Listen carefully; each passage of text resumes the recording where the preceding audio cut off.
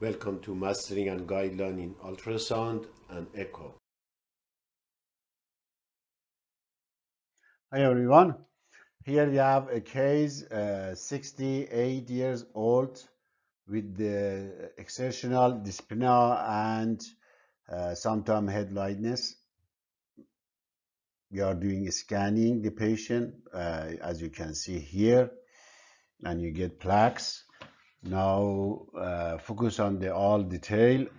Based on this image, which of the following uh, measurement for LV is correct? This one? All of them at the same time. This one, this, this, or this one, or this one. And why?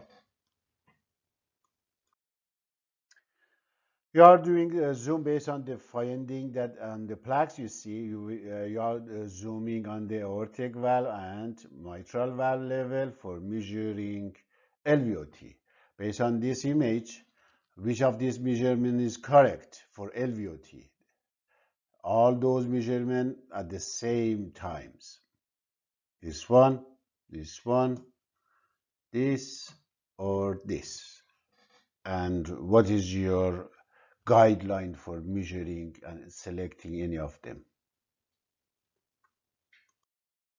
Then you put uh, color on the aortic valve. You can see beside of calcification, you can see some AI and turbulence at the stenosis.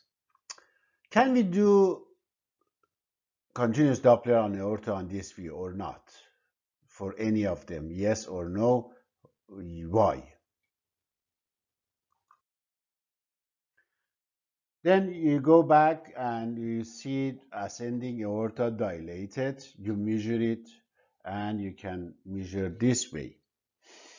And you're measuring, if assuming the measurement is correct. Is that uh, our evaluation for ascending aorta is done or we have to do something extra or not? Why and what is that if we need to do extra study on this view.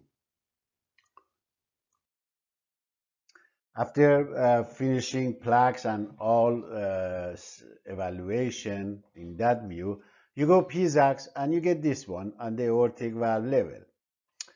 Can you guess is that patient has what grade of the aortic stenosis? Just based on this 2D and color image. And what is this color positive shift here related to? Based on those findings on PLAX and PSAX, you decided to do some extra image on the apical uh, window. You get it this one.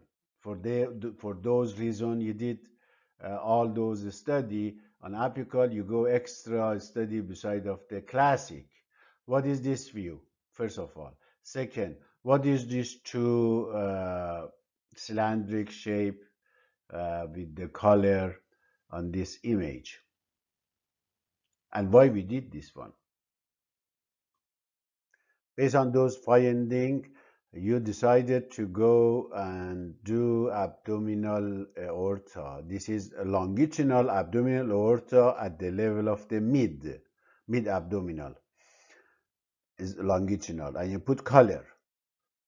First of all, what is diagnosis? What is the color pattern called in this area? And the last one, you do pulse Doppler at the proximal of the aorta and you get this one. What is this pattern represent and why? Now let's see and find the answer for all those questions